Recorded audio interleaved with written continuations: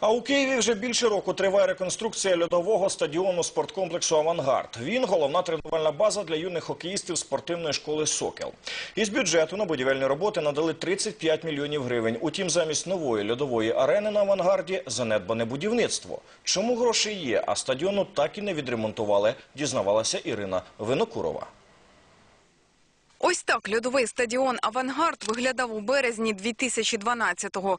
Керівники стадіону обіцяли, арену відкриють уже у травні. Згодом усе перенесли на вересень, але й тоді обіцянки не дотримали. Найбільше ця ситуація турбує батьків дітей, що тренуються тут із чотирьох років. Изначально нам обещали, что за 3-6 месяцев примерно произведется реконструкция полностью авангарда. Да, нам откроют, мы будем кататься здесь. Нині восьмирічні хлопчики зі спортивної школи «Сокола» на «Авангарді» тільки перевдягаються. Потім діти в повному екіпіруванні їдуть на замовленому батьками автобусі в інший кінець міста. І так щодня. У нас, грубо говоря, забрали лед, детей оставили без катка. Вот, нас выселили на оболонь в ужасные условия, в палатку. Лед, который находится под клеенкой, уже при э, плюс пяти, там невозможно находиться. Замерзают дети, они болеют чаще, начинают болеть, естественно. То есть, а когда будет минус 10, то есть это просто невозможно. Та найбільше батьків лякає інше. Їм сказали, що навіть після реконструкції дітей на авангард можуть уже не пустити. За поясненнями ми звернулися до керівників спорткомплексу, але від коментарів вони відмовилися. Знімати арену теж не дозволили.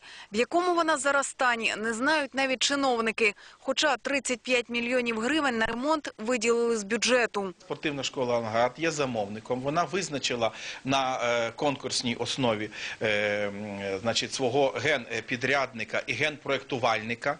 З ним разом освоїла, ще раз повторюю, 27 мільйонів бюджетних коштів з державного бюджету, із них 12 на реконструкцію і 15 мільйонів на придбання.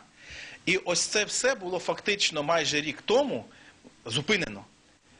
І далі роботи вже практично не проводяться. Претензії до будівельників має Федерація профспілок, яка є власником спорткомплексу. Кажуть, підрядник навіть не підготував проекту і не отримав ліцензій. Ми подали е, позов до суду в зв'язку з тим, що ВМ Україна не виконує взятих на себе зобов'язань, але е, на сьогоднішній день потрібна е, судово, е, судово-технічна експертиза. На жаль, судово-технічна експертиза не проводиться ну, дуже швидко. Усі чотири експертизи обіцяють завершити до кінця листопада. Та що далі, невідомо. Або стадіон добудовуватиме хтось інший, або землю під нього взагалі заберуть через нецільове використання. Батькам юних хокеїстів від таких перспектив хвилювання не меншає. Їхні діти можуть втратити улюблену справу, а держава – видатних спортсменів і гроші, вже витрачені на міфічну реконструкцію. Ірина Винокурова, Євген Михайлов, Олексій Соловей, НТН.